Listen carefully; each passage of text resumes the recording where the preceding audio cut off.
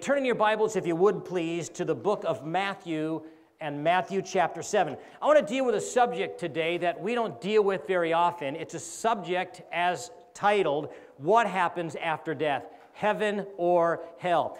We live in a world today where we go to extremes, or we live in a world today where we want to soften truth and we want to throw out all that is negative and deal only with what was positive. But, friends, the Bible is balanced. Because just as there is a heaven, there is a hell. And we need to be reminded of what happens after death. And so, Matthew chapter 7 is our text today. By the way, we've seen a lot of deaths lately, have we not? remember waking up this week and reading on the newspaper that Robin Williams, the actor, took his life. I mean, pinnacle of success. He did it last week. The week before that, my wife and I had a friend of ours who was 50 years of age, a pastor in San Diego, California, had a massive heart, heart attack and fell over dead. And it just seems that all of this has been thrown my way recently and has stirred me to deal with the subject what happens after death? Because death knocks upon every man's door. It is a respecter of no persons, and you just don't know when death will knock on your door, so you better be ready. And friends, we better understand what happens after death. Our text is Matthew chapter 7. I heard this story about the famous physicist, a man by the name of Albert Einstein. You know the name? One day he was on a train and he was going to an out of town engagement. And as he was there studying his notes, the conductor came around checking tickets. And when he came to Dr. Einstein, he was so busy, he, he didn't remember where he placed his ticket. So he checked in his coat pockets, in his briefcase, but to no avail. He looked up at that conductor with kind of that sheepish look upon his face, saying, You know, I don't know where my ticket is. And the conductor looked down at him. He says, Don't worry about it, Mr. Einstein. We know who you are, and we believe that you have bought a ticket. Everything will be okay. Don't worry. And so the conductor moved on down the cars, punching tickets. And before he went into the next car, he turned around. And to his surprise, he saw Dr. Einstein upon his hands and knees looking under a seat for his missing ticket. He kind of chuckled, you know, and walked up to the great physicist and said to him, Dr. Einstein, he said, I told you everything will be okay. You, we, we believe that you bought a ticket. We know who you are. To which Dr. Einstein then looked up at the conductor and he said, I too know who I am. But what I don't know is where I'm going. you know, since everybody will live somewhere forever, it is vitally important that we know where we are going. In fact, one of the most important questions in life, and it is a question that everybody will eventually ask, is that question what happens after death? Or where will I spend eternity? And it seems in the day in which we live, more people than ever are concerned with death and the afterlife. In fact, if you've just been paying attention, you will see that there have been more movies made, more books written, and more television programs dealing with the subject of death and the afterlife than ever before. In fact, I read a recent interview uh, in Harper Bazaar's, uh, uh, I didn't read it in Harper Bazaar magazine, by the way. I read the interview, and it was done by Harper Bazaar magazine, but it was interview, interviewing the actor Tobey Maguire. Do you know the name? Tobey Maguire, you know the name? Famous for Spider Man. All right, all those above 50, forget it, you don't know anyway. But everybody else, right? Famous for Spider Man. Well, here's what he said regarding death in the afterlife and I quote, he said, I asked myself, he said, what is life all about? Is it about the pursuit of material success? Is it a spiritual journey? He says, I'm really learning about responsibility and mortality. These are the two big issues of life. And since death and mortality are one of the two big issues of life, it is something that every single person needs to think about. In fact, it has been wisely said that two things are true of every single person. Everybody wants to be happy, and that is true. And yet at the same time, everybody is going to die because death does knock upon everybody's door. And since it does knock upon our door, we need to be certain where we will spend eternity because death is no respecter of persons. I remember it wasn't long before jo- Stephen Jobs of Apple computer fame passed away. He gave a speech at Stanford University to the graduating class, and here's what he said. Interesting enough, he says, No one wants to die. And yet, death is the destination that we all share. No one has ever escaped it. And, friends, those are true words. Death is the destination that every single person here shares. And it is no respecter of persons. It took the life of Stephen Jobs, and it caught up with that man, Robin Williams, just recently. But you know, when it comes to death and the afterlife, There's no greater authority on the subject than the Bible itself. And the Bible reminds us that for every single person, there are only two destinations. There is an eternal life with God in heaven, or there is an eternal separation from God in the place the Bible calls hell. And regarding death in the afterlife, Jesus Christ made this statement in our text here in Matthew chapter 7 with these words He said, Wide is the gate, and broad is that way that leads to destruction. But narrow is the gate, and difficult is that way that leads to life. In other words, Jesus was simply reminding us that for every single person, there are only two destinations. There is, as he says, that broad way that leads to destruction, eternal separation from God in a place called hell. Or there is that narrow way which leads to life, an eternal life with God in a place the Bible calls heaven. And considering that everybody will live somewhere forever, I want to deal with this subject what happens after death? Because you see, deep down in the heart of every single person, everybody wants to go to heaven. Now, I may not know many of you very well. But one thing I do know about most of you, and probably one reason that you're here today, is because you want to go to heaven. In fact, the Bible reminds us that every single one of us, without exception, it doesn't matter who you are, it doesn't matter what you believe, it doesn't even matter what you believe about God. But here is what is true of you every single person, the Bible says, was made in the image of God. And when the Bible said that we were made in the image of God, He's simply reminding us that all of us were, we were made to know God. We were made to have fellowship with God. In other words, you were made to go to heaven. Do you know that's why the things of earth cannot fully satisfy the heart of man? Because you see, we are not made to be satisfied by this life. We were made to be satisfied by God. That's why the things of life cannot fully satisfy the heart of man. Why? Because we were made to be satisfied by heaven. Or, as C.S. Lewis once said, the emptiness of life is nothing more than man's longing for heaven. And, friends, that is absolutely true. In fact, do you realize today that it is God's deepest desire? And it was the prayer of Jesus Christ that you would be with him in heaven. You see, 2,000 years ago, when Jesus Christ, with the eye of that omnipotent God, looked down the tunnel of time, he saw you.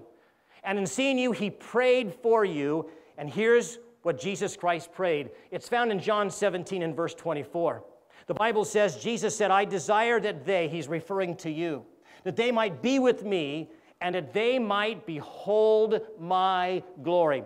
You see, friends, the fact is that God desires and He has placed eternity in your heart. He has given to you a longing in your heart for heaven because you see, that is His deepest desire. In fact, that was the prayer of Jesus Christ for you regarding heaven. When Jesus mentioned heaven in the New Testament, do you realize that he referred to heaven as a place of paradise? Do you know that? Do you remember when Jesus was dying upon that cross, dying for your sins, dying for the sins of the world? Do you remember the Bible records that on either side of Jesus were two thieves? And although those thieves were dying for their crimes against society, Jesus was dying for the sins of the world.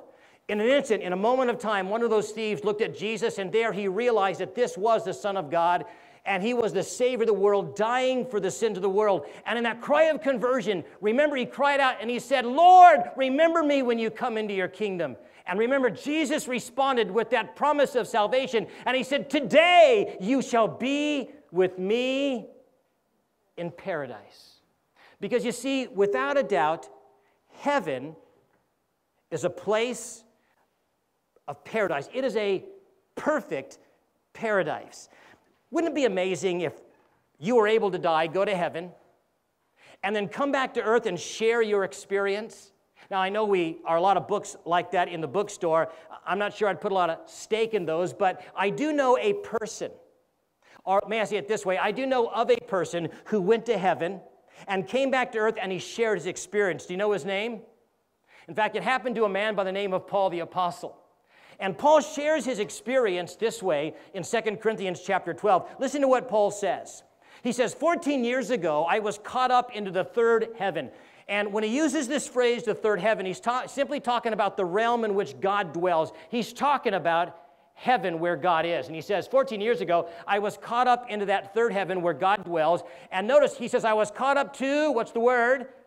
To paradise, and I heard things that were so astounding. I heard things that were so amazing that I can't even express them in words. In fact, Jesus Christ and Paul the Apostle, when they talked about heaven, they always referred to heaven as a place of paradise, a perfect place, a place of paradise. In fact, I can imagine Paul sitting around a table drinking a cup of coffee with a bunch of guys and and these guys are starting to tell Paul about all of the beautiful places that they visited in the world. And I can hear in my mind's eye one guy saying, Hey, Paul, listen, I have been to Hawaii, and I want you to know something about Hawaii. It is the most beautiful spot on earth. I mean, the, the, the, the sand is like powder. The sky is the most deepest blue I've ever seen, and the water is as warm as a bathtub. And I can hear another guy say, Ah, listen, I have been to Tahiti, and Tahiti is, and, and Hawaii is nothing in compared to Tahiti because the sand there is softer, the sky is bluer, the uh, water is warmer, and the food is to die for.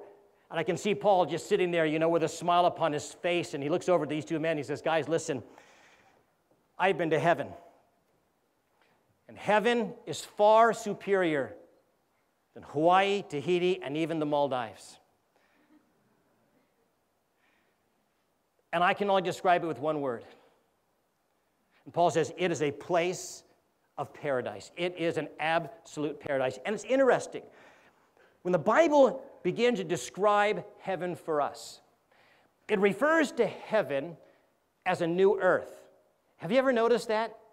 John said he saw a new heaven and a new earth coming down. Heaven is referred to as a new earth, which means this it means that heaven is much like the old earth without the curse of sin.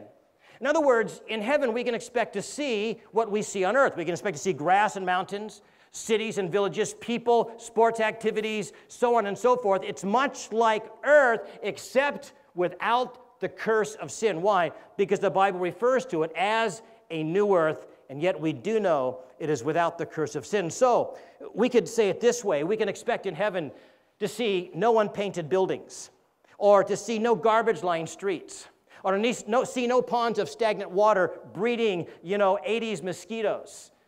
Or, you know, we can expect to see no potholes in the road, no broken windows in buildings. Or, you know, in heaven we can, you know, expect to see um, a world that will never again be ravaged by flood or destroyed by typhoons.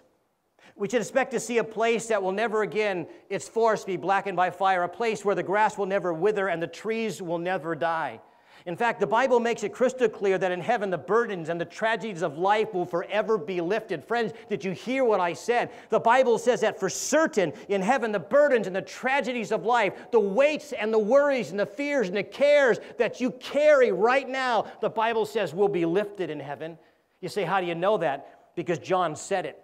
He put it this way in Revelation 21 and verse 4. He said, And God will wipe away every tear from the eye. Friends, you have things that are causing you pain right now?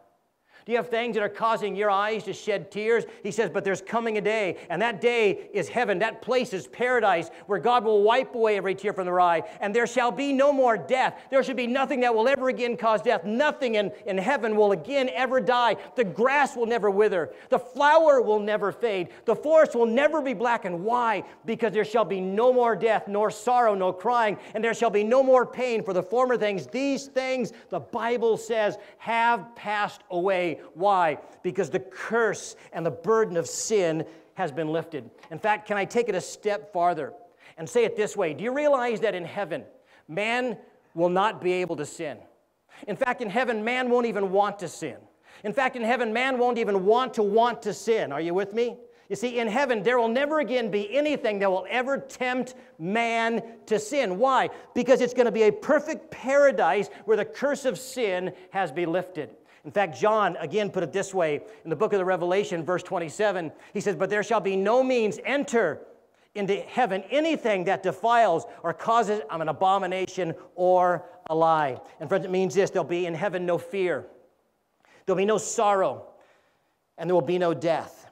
It means there will be nothing in heaven that will ever again displease God or damage our human relationships. It means that in heaven there will be no more missing children.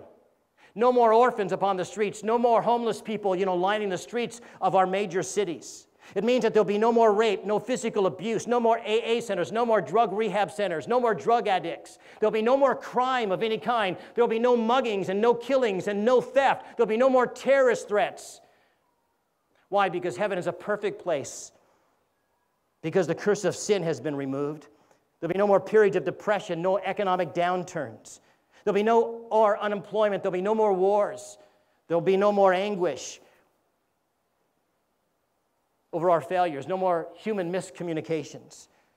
You see, our relationships one with another will be absolutely peaceful. Won't that be fun? There will be no more cliques, no more betrayals, no more anger, no more behind the scene deals, no more gossip, no more jealousy, no more lust. There will be nothing ever in heaven that will ever again, ever eclipse your joy. Why? Because you see, heaven without the curse of sin will be an absolutely perfect paradise.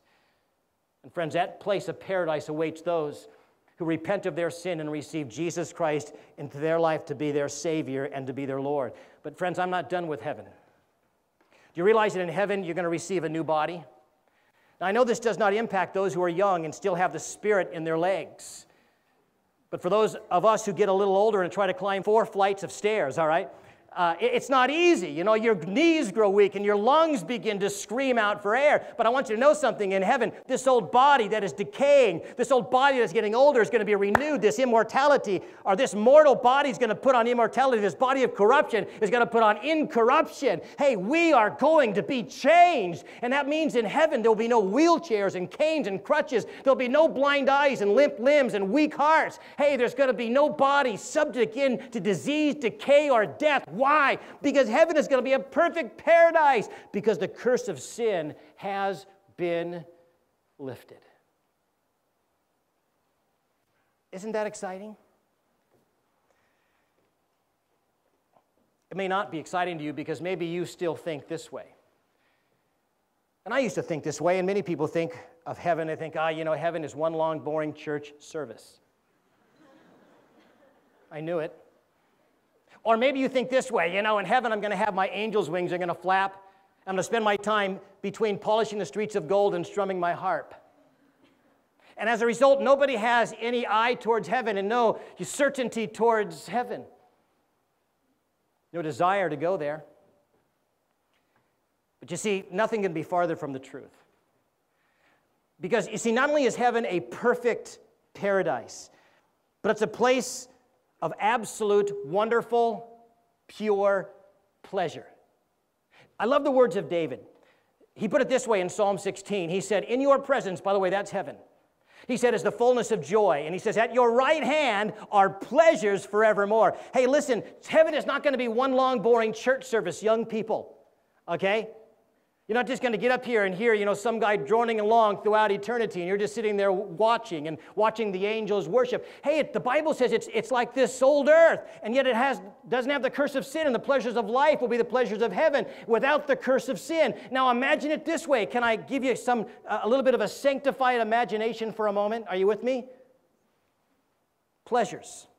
It means that you might be able to bungee jump from the top of the New Jerusalem without even a hint of fear. You say, why? Because fear is the result of the curse, and the curse is removed. My friends, there's going to be no fear in heaven. And so, if you want to bungee jump from the top of the New Jerusalem, go ahead and do it 200,000 stories straight up, straight down, no fear. Or how about this? How about jogging up on the longest trail and never breaking a sweat and never getting tired? You say, well, how do you know that? Because you see, sweat is the result of the curse. In heaven, you see that curse has been lifted. And so you can jog the longest trail and you could swim the longest river and never tire, never get sweat. But here's something for you, Singaporeans. You ready for this one? Do you realize that you can eat as much as you want, as often as you want? and you'll never grow fat. And you'll never die of heart disease. Because in heaven, there's no death. Okay? I say this to people, I'm an evangelist, but my first profession before I was an evangelist, I was a chef. So you'll know what I'll be doing in heaven. Nobody to evangelize. So I might as well go back and just practice my, my art. You can come to my restaurant. By the way, in heaven, you don't even have to pay a bill.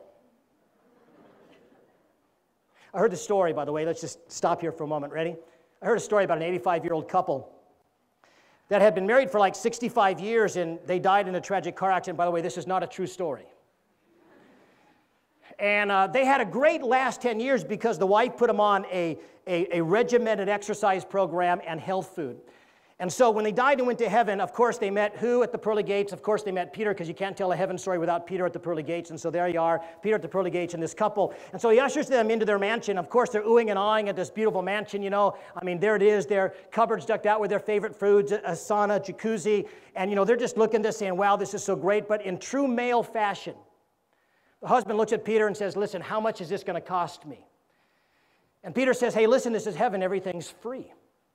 So the man put a smile upon his face, and Peter says, Come, I'll show you more, and takes him outside. And behind the house is this beautiful championship golf course, and says, You know, you can play here every single day. And here's the amazing thing that this golf course changes shape every week into one of the major golf courses on earth. And the man says, Well, that is great, but Peter, let me ask you, how much will this cost me? And Peter says, Listen, this is heaven, it is free. So, of course, the man puts a smile upon his face, and Peter takes him uh, to the clubhouse. And as they walk into the clubhouse, there's this huge, lavish buffet. Foods all from the different parts of the world there. And, you know, Peter shows him all this stuff, and the man says, Wow, this is great. But Peter, again, how much is this going to cost me? And Peter says, Don't you get it? This is heaven. Everything in heaven is free. And he said, Okay, but Peter, listen, where are the low carbohydrate and the low calorie tables? And Peter said, Hey, this is the best part. Do you realize in heaven you can eat as much as you want, as often as you want, and you'll never grow fat, you'll never die of heart disease, and you'll never grow sick? And with that, the man got angry. he took off his hat, he threw it on the ground, he began to stomp on it, and he began to scold his wife. And he said, This is all your fault. He said, if you didn't put me on an exercise program and, and, a, and a, a, a healthy diet, I could have been here 10 years ago. Now, whether that's true or not, I do not know. But here's one thing I do know the highlight of heaven will not necessarily be all the pleasures, but it will be a place of pleasure. The highlight of heaven is the fact that we will forever be with our God. And I love what the evangelist D.L. Moody once said. He said, It is not the jeweled walls or the pearly gates that are going to make heaven attractive. He says, But it is you and I simply being with God. Because on that day, you see, we can ask God anything, and we can listen to all that God has to say to us heaven. But heaven is reserved for those men and women who repent of their sin and place their faith and their trust in Jesus Christ alone. But my friends, just as there is, a hev- just as there is a heaven, there is at the very same time a hell. Just as there is an eternal life with God in heaven, there is an eternal separation from God in a place the Bible calls hell. And I realize today, today that hell is not a popular subject. It is not a politically correct term. I realize that if I were to advertise, or GLCC were to advertise last week and say, Come, Pastor Mike is going to preach on the horror of hell, we would probably not draw a crowd. But, friends, hell is real. In fact, do you realize that Jesus Christ spoke more on the subject of hell than he did heaven? In fact, Jesus Christ spoke more on the subject of hell than any other preacher in the Bible. You know why? Because Jesus Christ had been there, he had seen it, and Jesus Christ knew its reality. And the last thing that he wants is for any man, woman, or child to die and to go to an eternal hell. In fact, Jesus Christ often spoke upon the subject. And in Luke chapter 16, Jesus Christ tells a real story. This is not a parable. But he tells a real life story of two men who died, and one went to heaven, and one went to hell. The story of the rich man and Lazarus. You remember that story? The story goes like this that one day two men died. One was a rich man who had everything in this life, and the other was a poor man who had nothing in this life. And this poor man by the name of Lazarus died, and the Bible says that he is immediately ushered into heaven. Now, this poor man did not go to heaven because he was poor, but he went to heaven because he was saved. We could say in a modern vernacular, he had repented of his sin and he had received Jesus Christ into his life to be his personal Savior and his Lord. And although he had nothing in this life, he gained everything in the next life. But the Bible says that this rich man also died and he went to hell. Now, he did not go to hell because he was rich. He went to hell because he was not saved. He had not repented of his sin, nor had he received Jesus Christ in his life to be his personal Savior and his Lord. And although he had everything in this life, he received nothing in the next life simply because he was not a child of God. And his descent into hell is recorded for us by Jesus with these words in Luke chapter 16 and verse 24. Listen to what Jesus says. He's telling a real life story. Jesus says that in hell, he, that is the rich man, he lifted up his eyes and being in torment, he cried out and he said, Father Abraham, have mercy upon me and send Lazarus that he might dip the tip of his finger in the water and cool my tongue, for I am being tormented in the flame. It is interesting what this rich man said while in hell. The Bible says that he cried out. And in crying out, he said, I'm being tormented in the flames, which reminds us of several things. It reminds us that when a person dies and go to hell, they're aware of their surroundings. They know what's going on.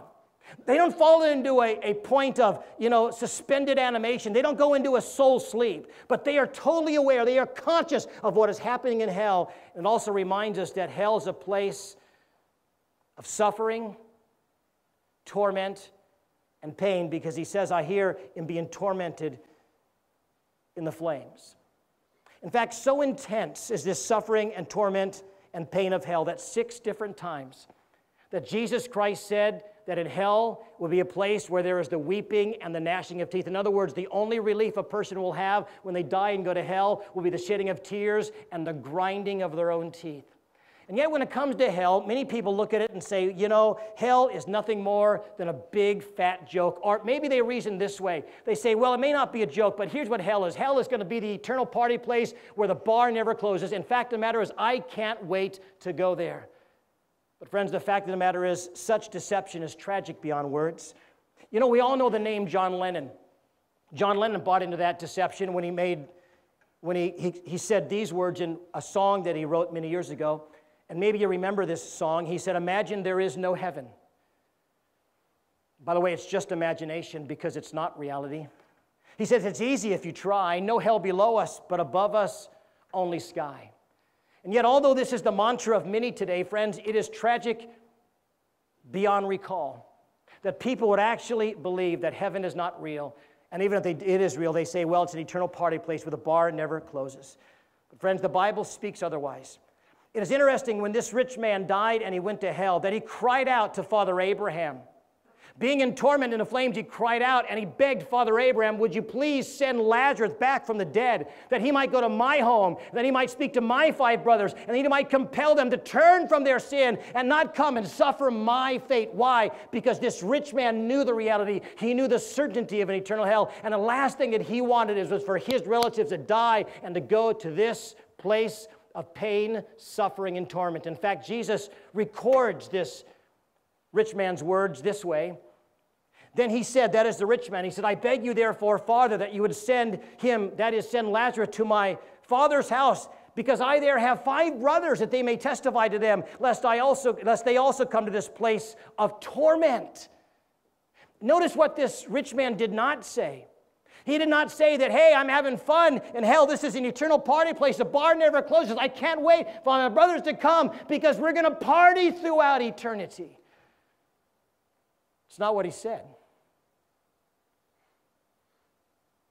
There in heart anguish, he cried out and he begged Father Abraham, please send someone to my brothers and warn them that they don't suffer my fate. Because you see, friends, hell is not an eternal party place where the bar never closes. But it is a place of pain, suffering. It is a place of torment. Friends, you realize that in hell there will be no movie theaters, there'll be no video shops, there'll be no bookstores for a person to hang out and to chill out in. In hell, listen, there'll be no football games and no parties, there will be no friends. People aren't going to die and go to hell and make a bunch of friends. The place says it's a place of utter darkness where there is weeping and wailing and the gnashing of teeth. There'll be no bars, there'll be no drugstores, There'll be no drug dealers in order, you know, to get your fix so you can wash away the pain. There'll be no doctors who can prescribe pain pills and sleeping pills that you can, you know, find ease from your torment. You see, in hell, there'll be no rest. There'll be no sleep. There'll be no death, and there'll be absolutely no escape because hell's eternal. I think we know the name Malcolm Forbes, don't we? One of the richest men who ever lived. Just before he died, he made this comment. He said, I think that he says, The thing that I dread most about death is that I know that I will not be as comfortable in the next life as I was in this life. And friends, that's true if you die. Having never repented of your sin and received Jesus Christ into your life to be your Savior and to be your Lord. You see, in hell, friends, there will be no escape. There will be no second chances because hell is eternal. And maybe that's why Jesus gave these words of warning. He said, If your hand or your foot causes you to sin, he says, cut it off and cast it from you. Because it is better for you to enter life maimed rather than having two hands and two feet and be cast into everlasting fire. You see, friends, Jesus Christ knew its reality. And the last thing that he wants is for every, any man, woman, or child to die and to go to hell. His desire is that you and I would be with him in heaven. And friends, this story in Luke 16, these verses remind us that there are only two options. There is either an eternal life with God in heaven or an eternal separation from God in a place the Bible calls hell. It reminds us that our eternal destiny is determined right here, right now, and not in some future world. Hell. Maybe you're sitting out there today and you're thinking to yourself, well, you know what? I'm not sure I believe that. I don't believe that there's a, an eternal hell, a place of torment, suffering, and pain where people go and pay for their sins throughout eternity. I don't buy that. Well, I realize today that 65% of our world believe in a real eternal hell, and yet 35% don't. And maybe you're here this morning and you're part of that 35%. You just say, listen, I don't believe. And maybe that's where you find yourself. But, friends, let me just say this Let's say there's a 10% chance that the Bible is right and there is a real, literal, eternal hell. Are you willing to take that chance? Let's say, for example, we go to the airport and you're sitting on the plane with your family about to go to your holiday destination. And a pilot gets up on the intercom and he says, You know, one of our engines is having some trouble and there's a 10% chance that we are not going to safely make it to our destination. What would you do? I know what you would do. Because you would do what I would do. I'd look over to my wife and said, let's take another flight. Because nobody is willing to gamble with their life, and yet so often men and women gamble with their eternal soul. But, friend, don't take that gamble. I heard once of a, a very famous juggler who had retired. And he wanted to move back to his home of Italy, and so he took all of his worldly possessions and he placed them into one large diamond. Everything that he owned was in a diamond. And as he was taking a boat back from where he was back to his home in Italy, he was there on the floor of the ship with a bunch of kids and he was juggling some apples because he spent his life as a juggler. And so he was just kind of entertaining these kids and doing all kinds of tricks. And soon the crowd grew and it grew. And before long, almost the entire ship had gathered watching this famous juggler juggle apples. And as he was juggling, pride went to his head, and he said, I'll be back in just a moment. And he ran back into his stateroom and he grabbed that diamond. And he came and stood before the crowd and told everybody, This diamond represents my entire net worth. Everything that I own, everything that I have is within this diamond. So he began to juggle the diamond with the apples. And of course, you know, that got the attention of the crowd. They were oohing and awing. And, you know, he'd throw it higher and he would throw it higher and he would throw it higher and he'd throw it higher. And once he threw it so high that for a moment it disappeared from sight. And everybody like oohed and awed. And all of a sudden it dropped into sight. The sun hit it and it glistened there in the sunlight. And everybody cheered. And just as that diamond began to fall from the sky, and just before it landed back into the hand of that juggler, the ship lurched to one side. The diamond fell to the ground and it rolled through a porthole and dropped into the sea, gone forever. Do you know, in the same way, there are many people who are gambling today. They're gambling with their eternal soul, hoping and pretending that hell is not real. But friends, don't take that chance. Because if the Bible is right and there is a literal hell, and you believe, you gain heaven. But if the Bible is wrong and there is no hell and you believe, you lose nothing. But if the Bible is right and there is a hell and you don't believe, you lose everything. Because life is temporary, and death is eternal. Maybe that's why Jesus gave these words of warning when he said, What shall it profit a man if that man gain the whole world and yet he lose his own soul? Friends, don't take that chance. And let me just say this God's deepest desire and the prayer of Jesus Christ for you, no matter who you are, no matter what your background may be, no matter what you believe about God, God's deepest desire for you is that you would be with Him in heaven. In fact, do you realize that hell was not created with you in mind? But the Bible reminds us that hell was created for the devil and the angels. In fact, Jesus put it this way in the book of Matthew. He says, Depart from me, you cursed, into everlasting fire prepared for the devil and his angels. It was not designed for you. In fact, God loves you so much and so desires you to be with him in heaven that He is patient, He is long suffering for you. In other words, He gives you a long rope, but one day that rope will come to an end. And He speaks of that when He says this. In 2 Peter 3 and verse 9, he says, The Lord, he says, is not willing that any should perish, but that all should come to repentance. This is the heart of God for you. And he says, Quit gambling with your soul. Make a choice. He says, Trust my son. Why? Because his son came to do for you what you can't do for yourself. He came to deal with your sin. Because you see, the Bible makes it clear that every single one of us, without exception, we have sinned. Sin has separated us from our God. And every one of us, step by step, we're marching to an eternal hell. Friends, do you realize that all a person has to do to go to hell is to live and die? Because your sin from the very moment of your birth has separated you from a holy God. And sin's a serious matter. You know, sometimes people say, ah, oh, you know, preacher, what's the big deal about sin? You know, everybody's sinning. You know, sin's a big deal. It is so big that God sent his son, Jesus Christ, to deal with your sin on a cross. That's how big of a deal sin is. In fact, it's so big that God gave these words of warning.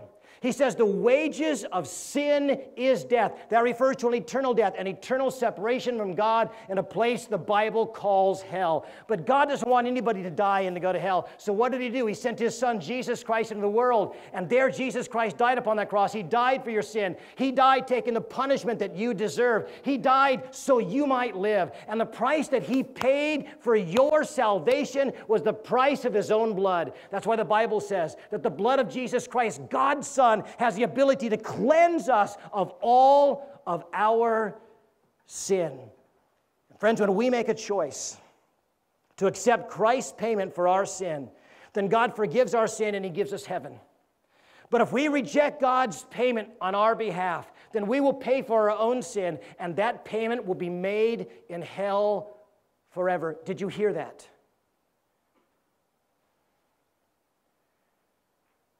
Jesus Christ came to pay for your sin. Because God is a holy God, God cannot tolerate your sin. Your sin must be forgiven. Because you can't wash your own heart, God in His love for you sent His Son to do what you can't do, to wash away your sin. And when you accept His sacrifice, Jesus Christ, God accepts you. He forgives your sin, and He gives you heaven. But if we reject God's sacrifice on our behalf, if we reject Jesus and say no, then we will pay for our own sin.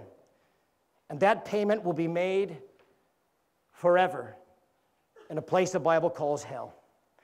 And I want you to know something, my friend. The choice is yours. Let me just explain it this way, and we're almost done. Let's say, for example, you find yourself in a court of law because you've been found guilty of a serious traffic violation. And the judge is bound by law to set a punishment, as he does so by giving you a large fine. But in a surprise move, that judge comes off the bench and looks at you and says, Because I love you, I'm going to pay your debt, I'm going to pay your fine. So he reaches into his pocket and he settles your debt.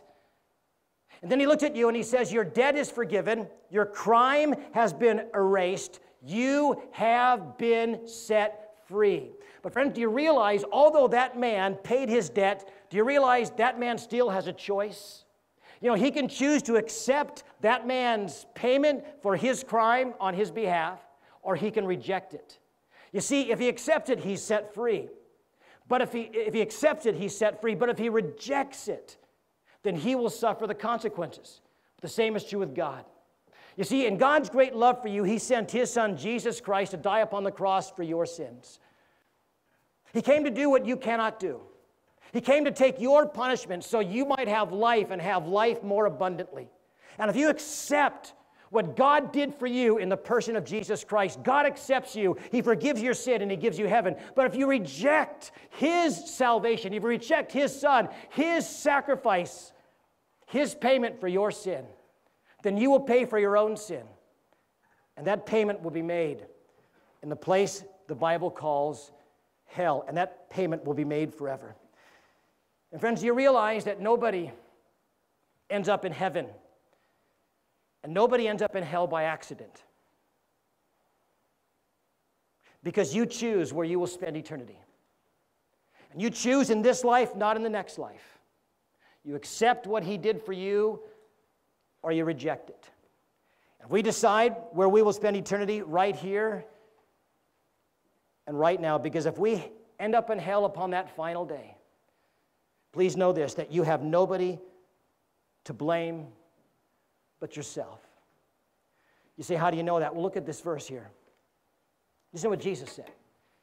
He said, He that believes in him is not condemned. But he who does not believe is condemned, what? Already. Friends, please note this that everybody is born in this world condemned. Everybody is born as a sinner, separated from God due to their sin. Everybody is born not innocent. Everybody's born a sinner separated from God. Everybody's born condemned. We come into this world step by step, marching to an eternal hell. And the only thing that a person has to do to go to hell is to live and die. But he says, if he believes he is not condemned, that is reversed, and your sins are forgiven, and you have the eternal hope of an eternal heaven. And on that fateful day, if you wind up in hell, you have nobody to blame but yourself. Can I just give you an illustration and then we're done? Let's say, for example, you're driving down the road and you're about ready to go up over a bridge and you're about to click away. And as you're driving towards that bridge, all of a sudden you see a sign that says, Danger, bridge out, take immediate exit. But you dismiss the warning and you go again and you see another sign says, Danger, bridge out, take immediate exit. But again, you ignore the warning. And then you see another sign says, Danger, bridge out, pull over immediately, do not proceed and you blow by that sign and you draw closer to the bridge, all of a sudden you see police cars with flashing lights. You see policemen with those big yellow gloves saying, Stop, do not proceed. But you press on and you push through those barriers and you go up over that bridge. And there, sure enough, as those signs warned, the bridge is out and you plunge to your watery death. Whose fault is that? Can't blame the government, they put up a sign. Can't blame the policeman, they warned you. You have nobody to blame but yourself. And yet the same is true with God. You see, God, in His great love for you, gave to you a warning. And the warning goes like this The wages of sin is death. But the gift of God is eternal life through Jesus Christ our Lord. And friends, if we heed the warning, and we turn in faith and we trust Jesus Christ to be our Savior and as our Lord, we receive eternal life and the hope of an eternal heaven with God. And yet, if we reject the warning, the Bible says that we will forever be separated from God in a place the Bible calls hell, and the choice is yours. In fact, I think that's why Jesus made this statement in that great verse of John 3:16. He says, "For God so loved you. That he gave his only begotten Son, that's Jesus, who came to do what you cannot do. And whosoever, that's you. Doesn't matter who you are, doesn't matter what you believe. Doesn't matter what you think, doesn't matter what you've done. But whosoever believes in him, God's promise is that you will not perish, but you will have everlasting life. So let me ask you this question as we close Where will you spend eternity? Heaven or hell?